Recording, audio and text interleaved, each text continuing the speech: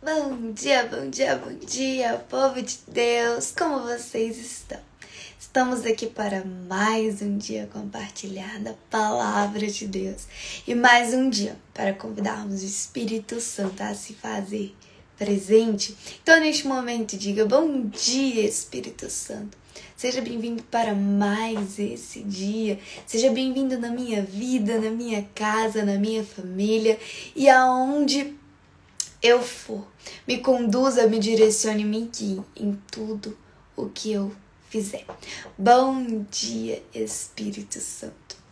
Bom, a mensagem que Deus ministrou ao meu coração nesta manhã se encontra lá em Jeremias, no capítulo 16, no verso 17, que diz assim: Os meus olhos veem todos os seus caminhos, eles não estão escondidos de mim nem a sua iniquidade está oculta aos meus olhos. Lendo essa mensagem, Deus ministrou meu coração que nada passa despercebido aos olhos do Senhor. Aqui o Senhor mesmo está dizendo: os meus olhos veem todos os seus caminhos. E a pergunta é: que caminhos você tem escolhido? Que caminhos você tem trilhado? Por onde você tem passado, que direção você tem escolhido tomar na sua vida. Enquanto eu meditava nessa palavra, eu fiz uma mera ilustração, não sei se vai dar para ver. Eu fiz como se fossem plaquinhas para um lado, né? E aqui eu coloquei coisas do momento, por exemplo, carnaval ou igreja. Aí aqui tá festas, drogas, bebidas, fama ou a salvação. Então, que direção você tem escolhido? Que caminho você tem trilhado? Sabe? A gente fica muito preocupado essa questão de ter um determinado comportamento, ter uma determinada posição na frente das pessoas. E eu te pergunto, se, a, se os seus amigos, se a sua família soubessem de tudo que você faz, você acha que eles ainda te amariam? Você acha que eles ainda queriam você perto, te olhariam com os mesmos olhos? Provavelmente não. Mas o Senhor, sabendo de tudo que nós fazemos, sabendo os caminhos que temos trilhado, as atitudes que muitas vezes tomamos, ele sabe de tudo, mesmo sabendo de tudo. Ele continua nos amando. E a pergunta de hoje é: quem é você? Quando ninguém, ninguém, né? Porque Deus vê tudo. Quando ninguém está olhando, quem é você? O que você faz? Que atitudes você tem? De que forma você se comporta? Sabe, o Senhor, ele nos ama, ele nos aceita, por isso que ele fala: Vinde a mim como estás, vinde como estás. Ele nos aceita como somos. Mas a partir do momento que reconhecemos a Ele como nosso único e suficiente Salvador, a partir do momento que nós declaramos a Cristo que Ele é o nosso único e suficiente Salvador e o recebemos, ele exige de nós uma mudança.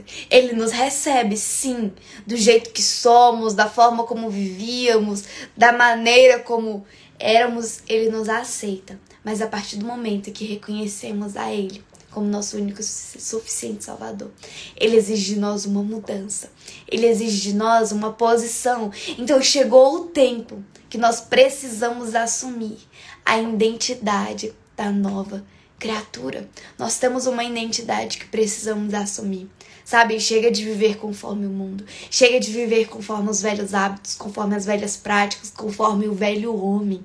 Chegou o tempo de assumirmos a identidade da nova criatura, a identidade que Cristo nos deu a partir do momento que reconhecemos a Ele, a partir do momento que declaramos o nosso amor por Ele, falamos: Senhor, eu te reconheço como meu único e suficiente Salvador.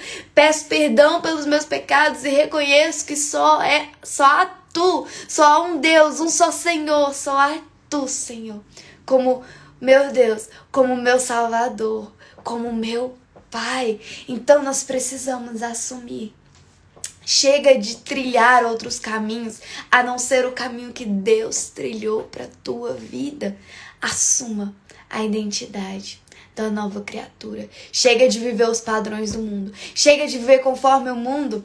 É triste dizer isso, mas quantos jovens que são da sua igreja você conhece e viu que durante esse feriado de carnaval se corrompeu e foi festejar e foi influenciado e foi. Eu conheço jovens que por mais que vão à igreja, por mais que estão ali num culto numa igreja, se contaminaram e foram festejar essa festa da carne que muitos jovens cristãos comemoraram.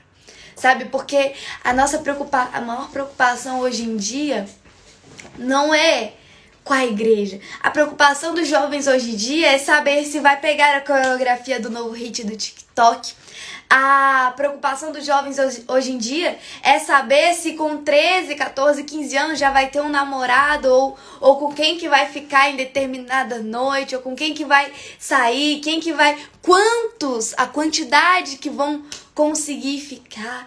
A preocupação dos nossos jovens tem sido essa, mas que no nome de Jesus a nossa maior preocupação seja ter uma vida, seja viver uma vida de acordo com a vontade de Deus e para isso nós precisamos trilhar o caminho da salvação.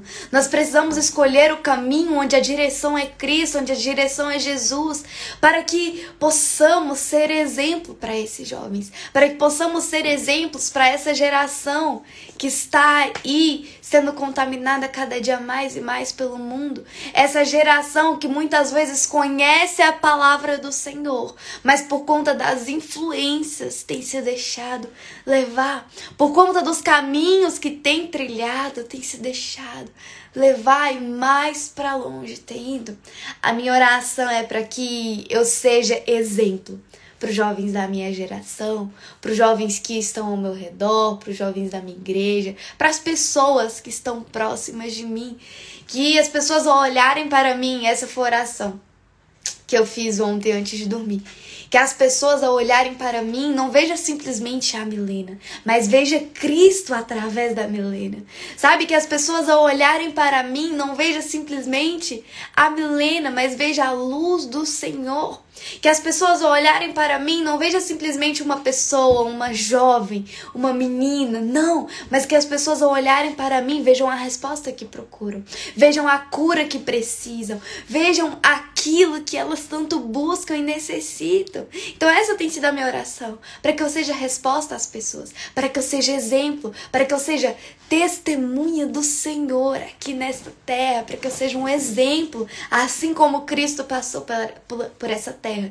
E foi um grande exemplo, para que assim eu também seja, que nós possamos resgatar os jovens dessa nossa geração, que nós possamos resgatar as pessoas que estão sendo influenciadas, que se contaminaram, que se deixaram levar que nós possamos trazer essa pessoa, essas pessoas para perto. Hoje de manhã minha oração foi: Senhor, obrigado por sempre me trazer para perto. Porque tem vezes que a gente vai caminhando assim e a gente vai se deixando levar e vai no nada a ver e vai não, não tem nada a ver é só um pouquinho, é só um momento, mas não. Agradeça ao Senhor por, por Ele sempre te trazer para perto. E que nós também possamos ser assim, que nós possamos trazer as pessoas para perto de nós, trazer as pessoas para perto de Cristo, para perto do Senhor, para perto do Pai delas. Que nós possamos trazer as pessoas de volta para casa, de volta para o lugar que elas nunca deveriam ter saído.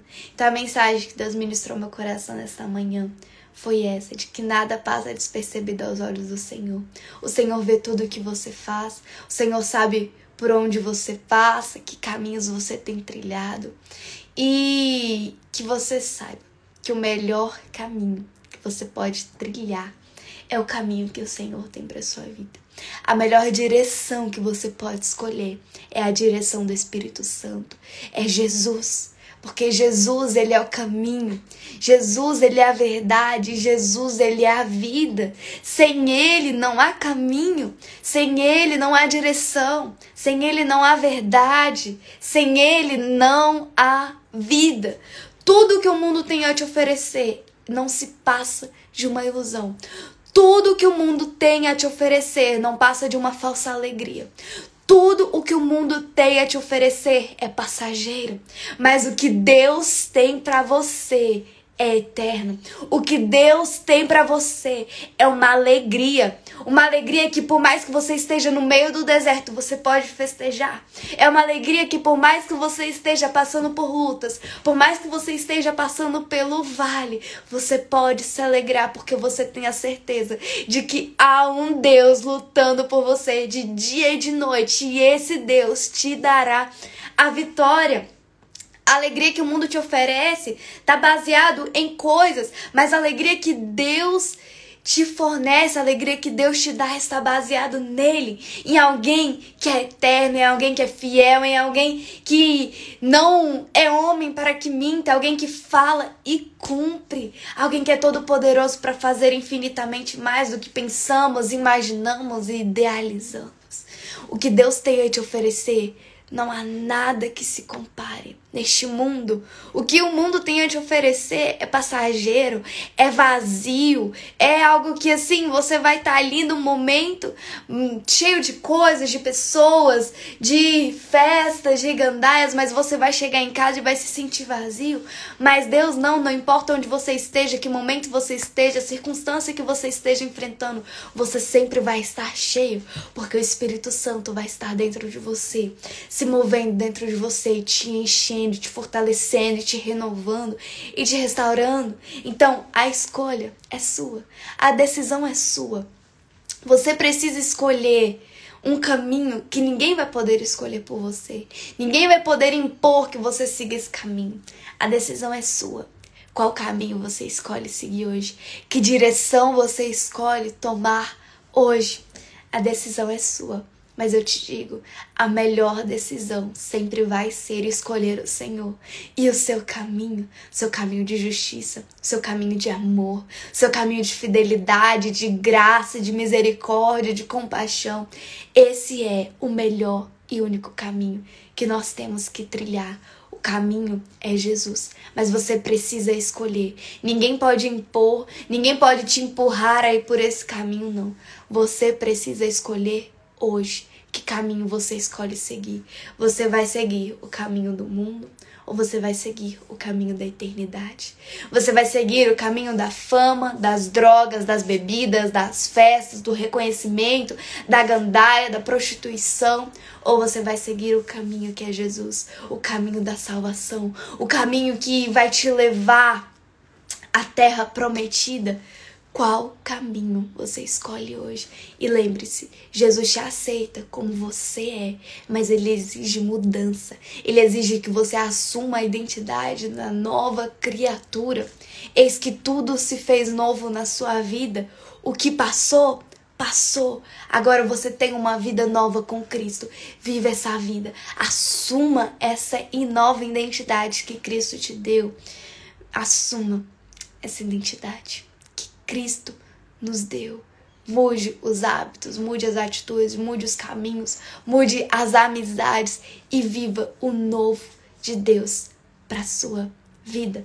Então essa foi a mensagem que Deus ministrou meu coração nesta manhã, que você possa refletir e que você possa escolher que caminho você quer trilhar. Não tem como você ir para a direita e para a esquerda ao mesmo tempo. Não tem como você escolher estar no mundo e escolher a salvação ao mesmo tempo. Não tem como você escolher ao mundo e a Deus ao mesmo tempo, não. Você precisa tomar uma decisão e você precisa escolher um caminho a ser trilhado.